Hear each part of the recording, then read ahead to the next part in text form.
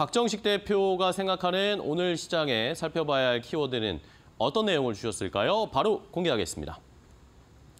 자, 이번에 박정식 대표님은 현대차 기아 미국의 판매 150만 배를 150만 대 돌파했다라는 키워드를 선정을 해 주셨습니다.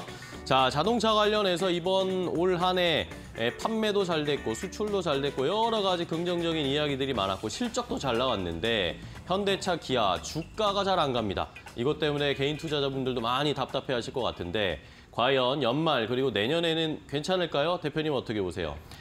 네, 일단은 지난 1월부터 11월 달까지 고금리 와중에도 불구하고 네. 미국 시장 판매량이 151만 대를 넘어섰습니다. 그리고 이러한 판매량이 일단 역대 최대치를 찍었고 이러한 판매량이 내년에도 이어질 수 있는 가능성이 매우 높게 존재하지 않을까라고 생각을 하는데 보통 자동차를 판매를 하면 대출을 많이 껴서 판매를 하는데 이렇게 고금리 시장에서도 판매량을 이렇게 많이 기록을 했다는 것은 내년도 만약에 금리가 낮아질 경우 이러한 판매량을 넘어서 더욱더 성장할 수 있는 가능성이 있지 않을까 이렇게 점쳐지고 있고 어, 일단 어, 내년 말부터 또 미국 조지아주 전기차 전용 공장이 이제 완성이 되고 가동에 들어가죠. 그렇게 된다면은 어, 이렇게 되면 전기차 판매량이 더욱 더 늘어나면서 200만 대도 넘어설 수 있는 전망도 현재 나오고 있습니다. 그래서 오늘은 이런 어, 관련 현대기아차와 동반 성장이 나타 날 수 있는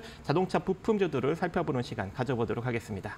네, 알겠습니다. 자, 이렇게 현대차 기아가 좋은 판매와 실적들을 기록하고 있습니다. 이런 상황에서 우리가 수혜를 볼 수 있는 예, 자동차 부품 관련주들을 살펴보자라는 의견 주셨는데 그렇다면 어떤 종목을 볼까요, 먼저? 네, 일단은 저는 이제 주가 위치를 이제 주가 위치가 상당히 낮은 종목들을 먼저 선호를 합니다. 그래서 첫 번째 종목은 삼보 모터스인데요. 네. 일단 삼보 모터스 같은 경우에는 자동차용 변속기 플레이트류와 그리고 엔진룸 및 연료 계통의 파이프류를 만들어내고 있는데 어, 의외로 대다수의 매출은 자동차용 범퍼 및 내외장 사출품에서 나오고 있는 상황입니다. 그리고 이 주요 계열사로서 플라스틱 자동차 플라스틱 제품을 만들고 있는 이 프라코와 나전이라는 회사가 있는데 여기서 여기서 연결 기준으로 대다수의 매출이 나오고 있고 또 이 회사들이 거의 현대기아차의 어, 우회적으로 이제 매출이 나오는 것까지 다 포함해서 90% 이상 의존을 하고 있는 상황이기 때문에 이 현대 기아차와 동반 성장이 현재 나타나고 있는 상황입니다. 거기다가 뭐 로터 어셈블리라는 이 전기차 모터에 들어가는 회전자 부품이 있는데 이것을 현대차향으로 2025년 말부터 11년간 3,557억 원을 공급하겠다라는 계약도 현재 진행이 되어 있는 상황이고 또 추가적인 수주도 계속적으로 나타날 수 있는 여력이 존재하기 때문에 이 전기차 쪽으로 앞으로도 지속적으로 성장이 나타날 가능성이 매우 높습니다. 자, 그럼에도 불구하고 현재 어, 이 재무제표를 보시면 매년 꾸준하게 매출과 영업이익을 급격하게 늘리고 있음에도 불구하고 주가는 상당히 낮게 형성되어 있습니다. 현재 시가총액이 1,300억 정도가 되는데 이 회사의 순자산 가치는 현재 3,200억 정도 수준이 되어 있고요. 재미난 것은 이런 이제 기간 산업, 즉 이 설비 투자가 많이 이루어지는 회사들 같은 경우에는 현금성 자산을 상당히 적게 크게 보유하고 있는데 이 회사 같은 경우에는 최근 분기 기준으로 2,321억 원이나 현금성 자산을 보유하고 있습니다. 그래서 본연의 지금 현재 시가총액보다 현금성 자산을 많이 보유하고 있, 기 때문에 내년 금리 인하 시기에 맞물려서 자동차 섹터가 부각을 받는다면 크게 상승이 나올 수 있는 그런 종목 중에 하나다라고 여러분들이 볼 수 있을 것 같고 그렇기 때문에 지금 5,700원 이하 때부터 여러분들이 느긋하게 분할 매수 관점으로 가시면 충분히 가능할 것 같고요. 이 상태로 어, 내년 금리 인하 섹터랑 맞물려서 시기랑 맞물려서 자동차 자동차 섹터가 전반적으로 상승력이 나타난다면 어, 적어도 한 만 천 원 정도 자리까지는 장기적으로 바라볼 수 있는 여력이 존재할 것 같고 뭐 단기적으로 보시는 분들은 6,800원 정도 자리까지는 빠르게 상승이 나오지 않을까 생각하고 있습니다. 네, 알겠습니다. 자, 첫 번째 삼보 모터스를 소개를 해 주셨어요. 확실히 저평가되어 있다라는 그런 의견을 주셨고 한 종목 더 체크해 볼까요? 자, 두 번째도 이제 비슷한 어떤 재무 구조를 지니고 있는 업체인데요. 세종공업입니다. 네. 마찬가지로 차량용 머플러와 그리고 배기, 배기가스 정화기 등 이 현대차 그룹 배기 시스템 1차 협력사이고요. 이쪽에서 거의 전체 매출의 93.21%를 만들어내고 있습니다. 2022년 기준으로.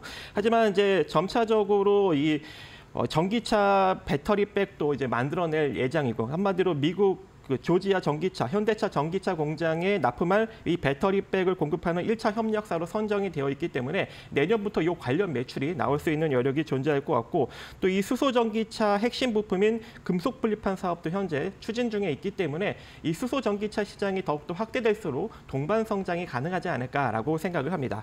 현재 보시는 바와 같이 주가는 상당히 낮게 형성돼 있습니다. 하지만 이 회사의 저 재무 구조를 보시면 매년 꾸준하게 지금 매출을 급격하게 성장을 시키고 어, 영업이익도 빠르게 증가시키고 있는 상황이기 때문에 조만간 이 주가의 상승력이 나타날 수 있는 여력이 매우 높게 점쳐지고 있을 어, 점쳐 점쳐 볼 수 있을 것 같고 현재 시가총액은 한 1,536억인데 이 회사의 순자산 가치는 4,300억입니다. 그리고 마찬가지로 삼부 모터스랑 똑같이 많은 현금성 자산을 보유하고 있습니다. 최근 기준으로 한 2,017억 원이나 현금성 자산을 보유하고 있기 때문에 현재 시가총액보다 많이 많은 현금성 자산을 보유하고 있어서 향후 추가적인 투자와 동반 성장이 충분히 가능하지 않을까 생각을 합니다. 그래서 지금부터 여러분들이 분할 매수 관점으로 갈 수 있을 것 같고요. 마찬가지로 이 종목도 만 원 이상 장기적인 관점으로 바라볼 수 있는 여력이 충분할 것 같고 단기적으로 보시는 분들은 한 6,600원 정도 자리까지 바라보시면 좋을 것 같습니다. 네, 알겠습니다. 세종공업과 삼보모터스를 자동차 부품주 중에 살펴봐야 할 종목으로 소개를 해주셨어요. 자, 그렇다면 이렇게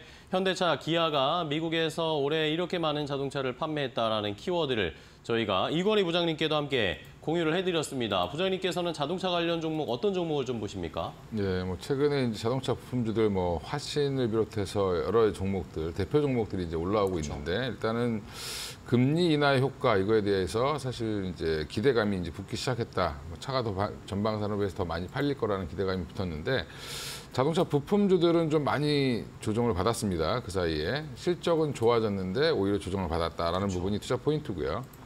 어, 그중에 여러 종목이 있을 수 있는데 제가 이제 계속 버, follow를 하고 있는 종목 중에 하나가 바닥권에 있는 에코플라스틱이라는 종목인데 플라스틱. 여기도 마찬가지로 자동차에 들어가는 내외장재 중에 이제 플라스틱 관련된 것들을 주로 네. 이제 생산하는 회사다라고 보시면 되는데 어, 플라스틱이라고 하면 굉장히 조금 어, 간단하지 않냐 이렇게 생각하실 수 있는데 음, 간단하지 않습니다. 그래서 이 에코플라스틱이 자동차용 전문 플라스틱 범퍼 아까 얘기하신 뭐 범퍼를 납품하는 업체들은 굉장히 많고요. 그렇죠. 그 외에도 이제 콘솔 박스부터 시작해서 안에 주로 있는 내장재들은 대부분 다 플라스틱으로 많이 구성이 되어 있죠. 이런 부분들을 에코플라스틱은 이제 모든 자동차 업체가 안 좋을 때도 어, 공급망 이슈 때문에 난리가 났을 때도 계속 영업이익률이 증가했던 회사입니다. 그건 무슨 말이냐면 현대 기아뿐만 아니라 고객사를 계속 지금 늘려가고 있다는 부분이 가장 중요하고요. 그래서 국내 대기업뿐만 아니라 글로벌 완성차 기업들 이제 프리미엄 라인 이쪽으로 주로 이제 납품을 많이 하고 있고요. 네. 그다음에 4분기가 사실은 이제 자동차의 성수기라고 볼 수 있는데 그 이유는 이제 신제품이 출시가 되죠. 보통 이제 뭐 facelift가 된다든지 해서 2025년형 뭐 이렇게 나올 텐데 24년형 이렇게 나올 때 어, 관련해서 지금 납품이 더 많이 되고 있는 수준이다라고 보시면 되고요. 그래서 역대 최고 수준의 매출을 기록할 걸로 예상하고 있는데 어, 이거 한번 보시면 지금 예. 뭐 화면을 보여주시면 네. 지금 에코플라스틱이 22년에 385억을 벌었습니다. 네네. 근데 올해 보면 벌써 대충 보시더라도 예, 500억을 넘게 넘겼죠. 네. 거의 600억 가까이 지금 영업이익을 냈고요.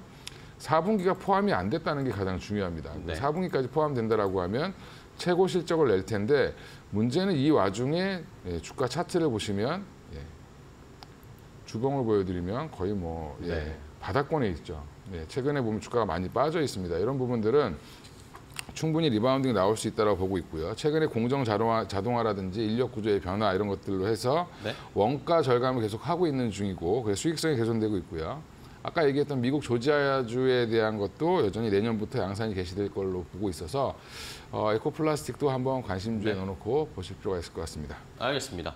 자, 이렇게 에코플라스틱까지 자동차 관련 종목들에 대한 기대감이 다시 커지고 있습니다. 잘 살펴보도록 하겠습니다. 오늘 두 분과 함께 시장 정리해봤습니다. 오늘도 좋은 전략과 종목까지 소개해 주셔서 감사하고요. 다음 시간에 또 뵙도록 하겠습니다. 고생하셨습니다.